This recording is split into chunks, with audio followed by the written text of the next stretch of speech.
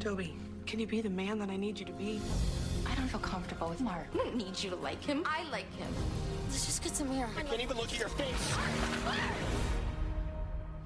This is us.